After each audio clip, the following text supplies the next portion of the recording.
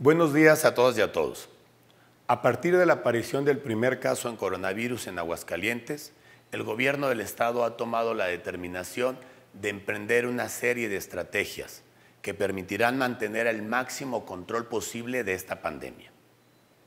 De acuerdo al comportamiento y a las recomendaciones del sector salud, hemos tomado decisiones responsables y necesarias ante la contingencia. El día de hoy he girado instrucciones a la Secretaría de Salud para ir un paso adelante, aplicando una estrategia de prevención a través de la vigilancia epidemiológica denominada Centinela.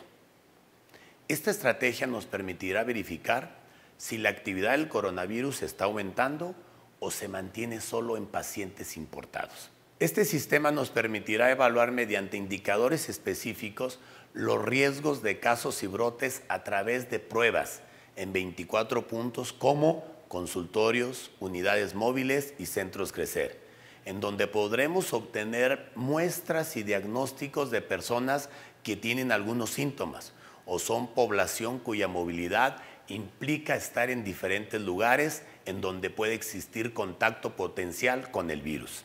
La estrategia Centinela nos proporcionará información valiosa de los 11 municipios, para tomar las mejores decisiones frente a lo que pueda venir.